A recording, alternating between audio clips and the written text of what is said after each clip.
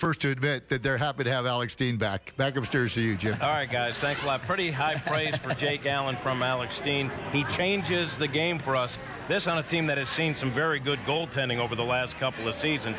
But Jake Allen has done just that. Listen, I, I believe this season around the National Hockey League is an aberration, Cat. I, I, think we've seen a lot of top goaltenders like we've seen here with the Blues, like we've seen all over the league, from Henrik Lundqvist to Mike Smith to you name it it's a funny season, so you need the guy right now that's going to get in there and get you wins. There's a certain amount of confidence, clearly, that they have right now, and he's making the saves to earn that confidence. This is a big save early on in the game by off Lombardi, his stick right here. Then in the second period, it's Korpikoski trying to go to the same area. They really tried to go high to the blocker side on Jake Allen, and he comes out on top of his crease, doesn't stay deep in the net, plays big, reads the situation well, and I think the one save that Steen was talking about was the one by, on Antoine Vermette right in front of the net when Vermette looked like he had a wide open net.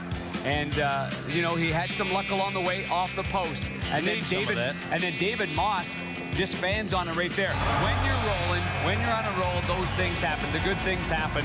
And I'll say this because I've been there before. It's like what, what Brian Elliott was facing earlier. When it's not going well, pucks just find a way to get in behind you. And right now it is going extremely well for Jake Allen. If you look, first the goal support jumps right at it. That says something. Yeah. That says something about confidence level. But seven and one, the goals against is ridiculous.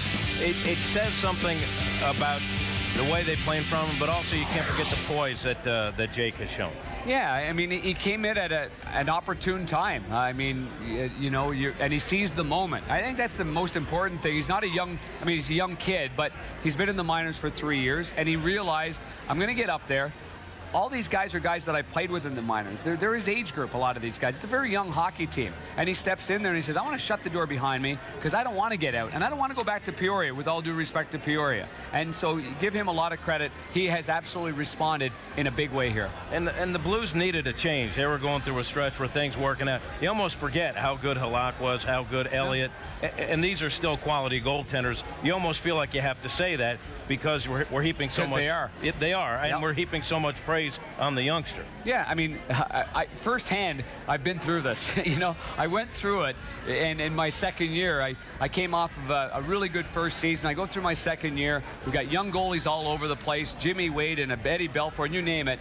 And then next thing you know, you, you, you have a couple of games that aren't going well. Somebody comes in, and then they take it over, and you're like, I, need, I, just want to get back in the net and do it myself. Well, right now the opportunity is uh, Jake Allen. Doug Armstrong make a very bold decision. Wasn't a very easy decision when you got two good, solid, excellent goaltenders. They win the Jennings last year. They combined for 15 shutouts, and you make a change and you bring up a third guy. I know for firsthand it's not comfortable with three goalies, but I think as a unit, I think they're all working along well. But here's I'm going to say this, Cat.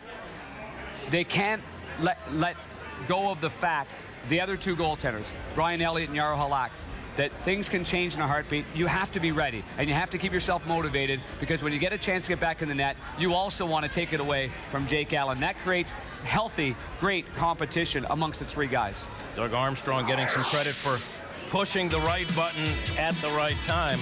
And uh, look at those Look at those numbers. Goalies winning seven or more games in their first eight starts since 89-90. And uh, some good company in there for Jake very good company. Former St. Louis Blue Patrick Lalime did that in 96 97. And Marty, Marty Prusek with the Ottawa Senators and Ray Emery, Viktor Fasth this year with the Anaheim Ducks. So quite a role that this young goaltender from Fredericton, New Brunswick is on. The Blues are on quite a roll. They've won four out of five. They beat the Coyotes tonight here at Scott Trade.